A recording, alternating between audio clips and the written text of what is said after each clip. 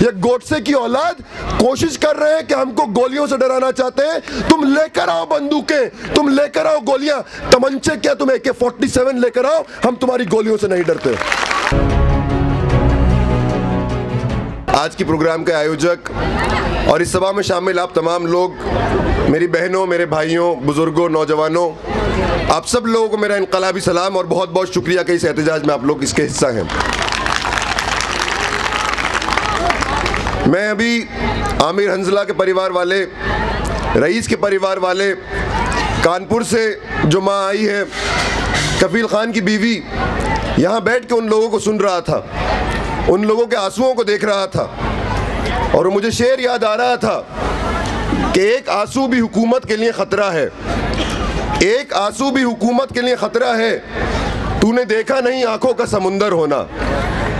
آج نریندر مودی امت شاہ، یوگی آدتیہ ناتھ، ان لوگوں نے جو ہمارے پر ظلم ڈھوئے ہیں، ان لوگوں نے مظلوموں پہ جس قسم سے تانہ شاہی کری ہے، لوگوں کی جان لی ہے، لوگوں کو جیل میں ڈالا ہے، لوگوں پہ مقدمے لگائے ہیں، یہی ان کی قبر میں آخری کیل ٹھوکے گا، یہی ان کے کفن میں آخری کیل ٹھوکے گا۔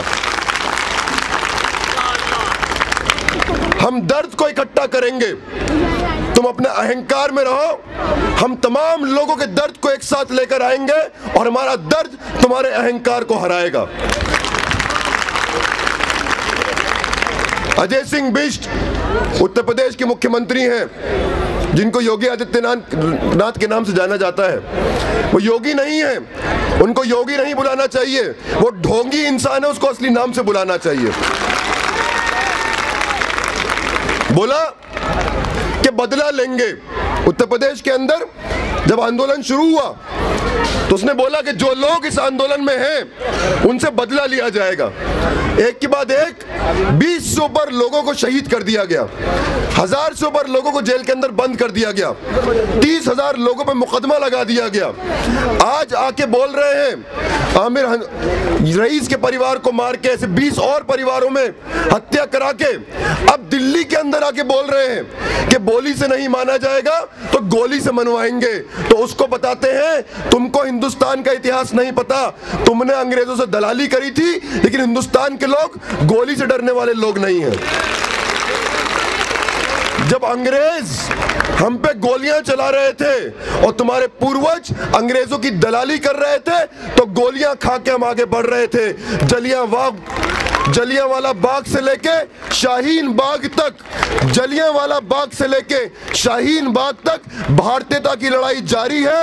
تو ہم نے جب دلالوں کو ہرایا تھا، گوروں کو ہرایا تھا، اب ان چوروں کو، ان فاشسٹوں کو بھی ہرائیں گے۔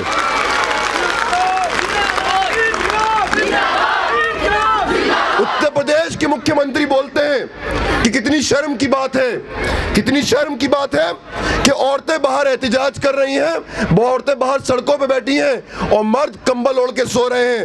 تو ان کو بولنا چاہیں گے، ڈھونگی صاحب، آپ کو عورتوں کو سڑکوں پہ دیکھ کے شرم آتی ہوگی۔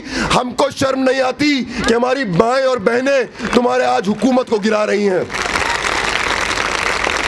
ہم کو اس بات کی کوئی شرم نہیں ہے کہ اس احتجاج میں سب سے اگر آگے کوئی ہے، اس احتجاج کے لیڈر کوئی ہے تو ہماری مائیں اور ہماری بہنیں ہیں۔ اور آج تو ہماری ماں نے، ہماری بہنوں نے تم کو سڑکوں پہ نکل کے جواب دیا ہے۔ وقت کا انتظار کرو۔ یو پی اسمبلی میں اور دیش کے پارلیمنٹ میں کل کو ہماری مائیں اور بہنیں جائیں گی، کل کو وہاں تمہیں جواب دیں گی۔ تمہیں شرم آتی ہے کہ عورتیں تمہاری مخالفت کر رہی ہیں؟ ہمیں شرم آتی ہے کہ تم جیسا انسان اتر پردیش کا مکھیہ منتری ہے۔ ہمیں شرم آتی ہے کہ نریندر مودی جیسا انسان اس دیش کا پردھان منتری ہے۔ ہمیں شرم آتی ہے کہ امت شاہ جیسا انسان دیش کا گرہ منتری ہے۔ آپ سوچئے، اس سرکار کی کیسے حیوان ہے سرکار کے اندر؟ اتنے دن ہو گئے آج تک جو پریوار یہاں آئے تھے، سرکار کی طرف سے ان سے کوئی ملنے نہیں گیا، کوئی سمویدنا پرکٹ کرنے نہیں گیا، کوئی معاوضہ نہیں دیا۔ جو یو پی کے اندر مارے گئے ہیں، جو شہید ہو گئے ہیں، ان کے اوپر مقدمے لگائے ہیں۔ دنگا بھڑکانے کے۔ جو شہید ہو گیا، جو اس دنیا میں نہیں رہا، وہ کیسے ثابت کرے گا کہ میں دنگا نہیں بھڑکا رہا تھا؟ جو گولیاں چلائی گئیں اور سرکار کا یہ بیان ہے کہ انہوں نے گولیاں چلائی دنگا کنٹرول کرنے کے لیے، موب کو کنٹرول کرنے کے لیے۔ اگر موب کو کنٹرول کرنے کے لیے گولیاں چلانے کی ضرورت پڑتی ہے، تو وہ پیٹ کے نیچے گولی چلائی جاتی ہے۔ سر پہ گولی نہیں چلائی جاتی، سینے پہ گولی نہیں چلائی جاتی۔ اگر سر پہ لوگوں کو گولی لگی ہے، سینے پہ لوگوں کو گولی لگی ہے۔ مطلب آپ نے اپنے پولیس کو اشارہ دیا تھا کہ جاؤ جا کے لوگوں کو مارو۔ جاؤ جا کے لوگوں کو مارو۔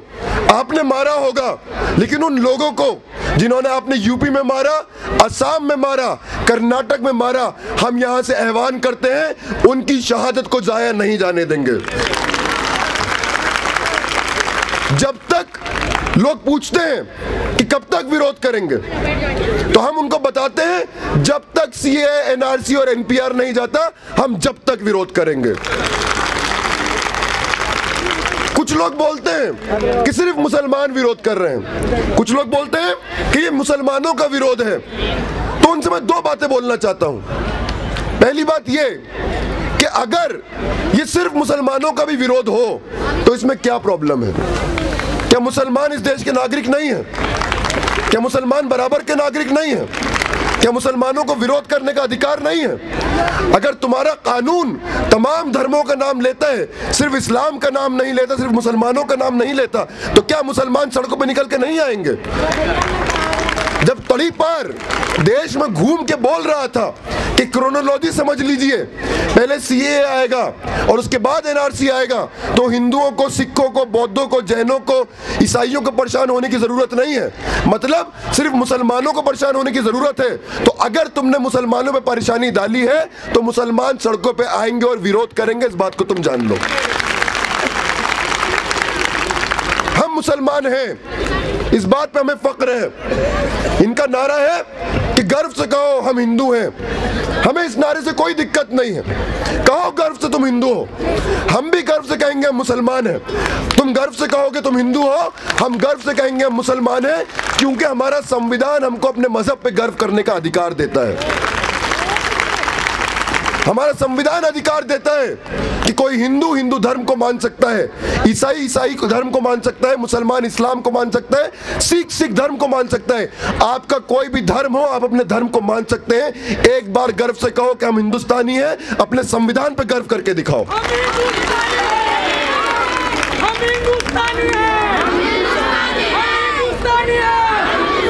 جو لوگ بولتے ہیں، ایک بات تو صاف ہے، ایک بات تو صاف ہے، جو لوگ بولتے ہیں کہ یہ مسلمانوں کا ویروت کرتے ہیں، سمسیا ہم میں نہیں ہے، سمسیا ان کے چشمے میں ہے، جو صرف ہر چیز کو دھرم کے آدھار پہ دیکھتا ہے۔ ان کو نہیں دکھتا جب سکھ سمودائے کے لوگ ہزاروں کلومیٹر چل کے شاہین باغ آتے ہیں تو ان کو وہ سکھ بھائی نہیں دکھتے۔ جب وہاں ہون کرایا جاتا ہے اور سرو دھرم پراتنا سبھا کری جاتی ہے، جہاں ایک مولانا بیٹھ کے قرآن کی تلاوت کرتا ہے، ایک انسان بیٹھ کے وہاں وہاں ہون کرتا ہے، ایک سکھ وہاں عیسائی پادری بیٹھ کے بائبل پڑھتا ہے اور سکھ انسان بیٹھ کے وہاں گرو گرنتھ صاحب پڑھتا ہے تو ان کو وہ نہیں دکھتا۔ ان کو صرف مسلمان دکھتے ہیں۔ ان کو صرف ہر چیز دھرم کی نظر سے دکھتی ہے۔ اور ان کی یہی کوشش تھی، ان کی یہی کوشش تھی کہ شاہین باغ کا دلی کے چناؤ میں نام لے کے دیش کے اندر، دلی کے اندر ہندو مسلم بٹوارہ کیا جائے اور اس ہندو مسلم بٹوارے پہ چناؤ لڑا جائے۔ ہر لیڈر صرف ایک لفظ بول رہا تھا، شاہین باغ۔ کوئی بھی لیڈر امت شاہ سے لے کر ان کے جو گلی کے چھڑبیا نیتا ہیں، ہر لیڈر کو آدیش دیا تھا کہ شاہین باغ پہ چناؤ لڑو۔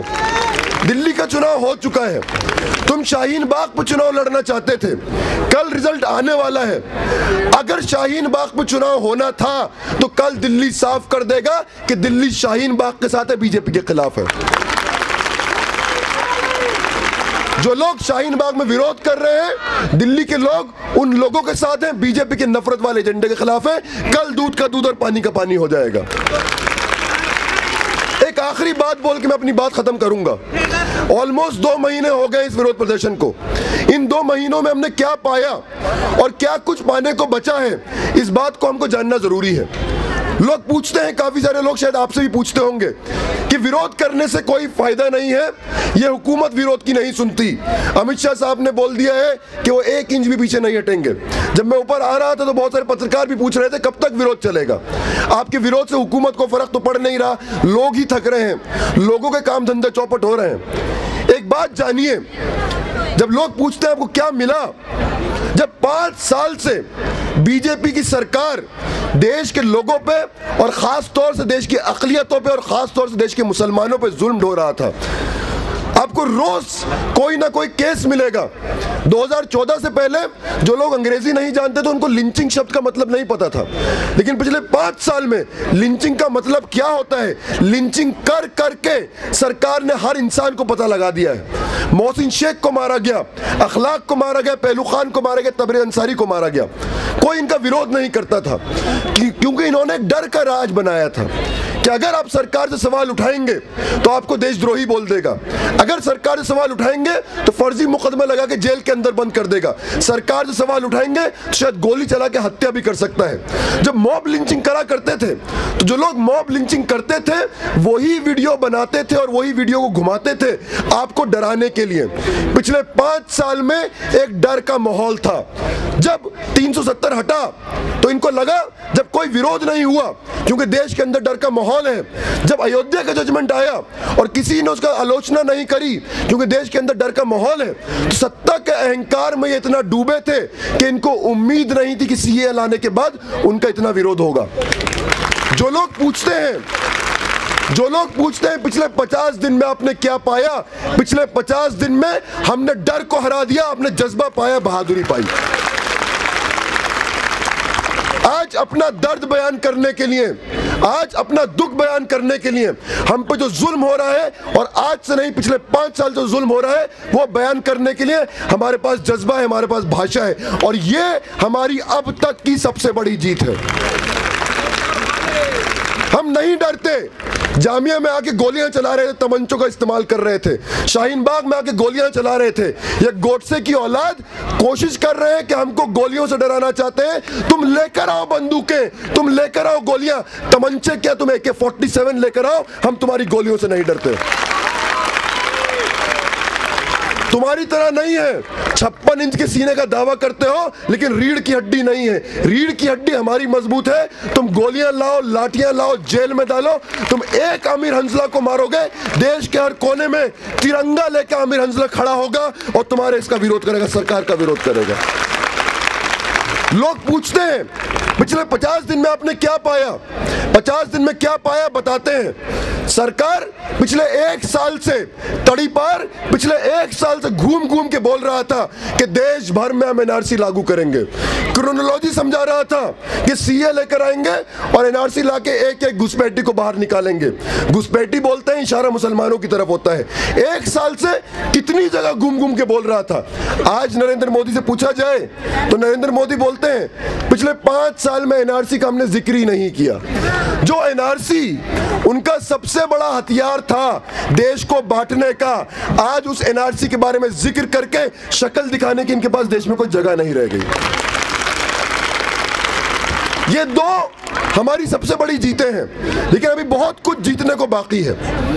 یہ بات صحیح ہے کہ سنسد کے اندر اور دیش کے پردھان منتری نے بیان دیا ہے کہ ابھی تک این آر سی لاگو کرنے کا ان کی کوئی منشا نہیں ہے۔ لیکن اس پورے سینٹنس میں جو شبد مجھے سب سے زیادہ امپورٹنٹ لگتے ہیں وہ ہیں ابھی تک۔ مطلب اگر آپ سڑکوں سے نکلے تو یہ فوراً این آر سی واپس لے کر آئیں گے۔ اور انہوں نے آلریڈی پلان بنا دیا ہے۔ جیسے اجے سنگھ بش صاحب نے اپنا نام بدل کے یوگی آدتیہ ناتھ کر لیا، یہ سوچ کے وہ کتنے بڑے ڈھونگی ہیں تو لوگ سمجھ نہیں پائیں گے۔ اسی طریقے سے این آر سی کا نام بدل کے این پی آر کر دیا ہے۔ اور N P R national population register پچاس دن میں شروع ہونے والا ہے۔ اس کی ڈیٹ ایک اپریل ہے۔ بجٹ کی گھوشنا ہو گئی ہے۔ سرکاری افسروں کی گھوشنا ہو گئی ہے۔ سرکاری افسر آ کے این پی آر کی شروعات کرنے والے ہیں۔ اس این پی آر کو کیندر کا مدہ بنانا ہے۔